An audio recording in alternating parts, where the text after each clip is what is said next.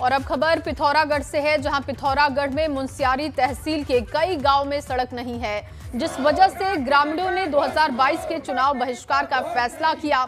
ग्रामीणों का कहना है कि सड़क नहीं होने से उन्होंने 135 किलोमीटर का अतिरिक्त सफ़र तय किया और इसके साथ ही ग्रामीणों की नाराज़गी शिक्षा व्यवस्था, स्वास्थ्य सुविधाएँ ना होने को लेकर भी है।